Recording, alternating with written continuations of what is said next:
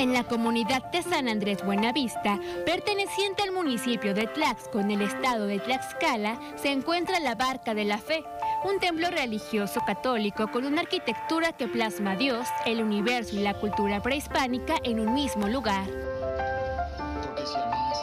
Cada 12 de octubre reúne locales y turistas para celebrar la fraternidad de los pueblos. Viene la gente, participa, convive, disfruta y si es un momento agradable eh, el estar en un momento familiar y sobre todo como de una fortaleza para la fe, porque el templo es muy adecuado para estar en sintonía con Dios.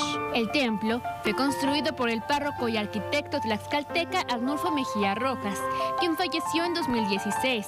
La arquitectura y la decoración del inmueble son la representación evidente del sincretismo religioso y cultural de la región. En la llegada del Padre, en 1984, en diciembre, comienza con este proyecto, haciendo el timón y terminando el timón comienza la construcción de la barca.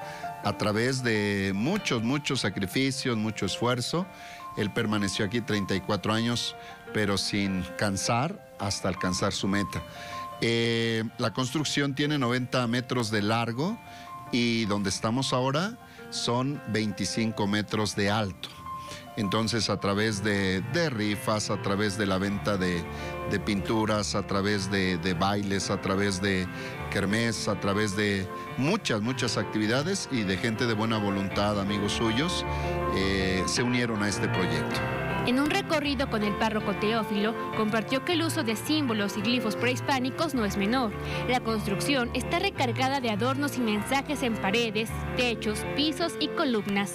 Él fusiona lo cosmológico, lo cristiano, lo prehispánico, pero con una seguridad plena de saber alcanzar esta meta. Siempre él manifestó pues esa emoción, esa alegría de saber que esto iba a lograrse como un centro de atracción religiosa de turismo.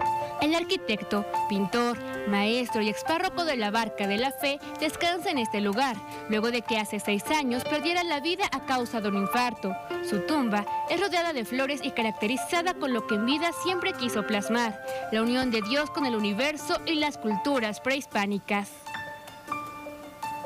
Con imágenes de Javier Vázquez para Telediario Puebla, Abigail García.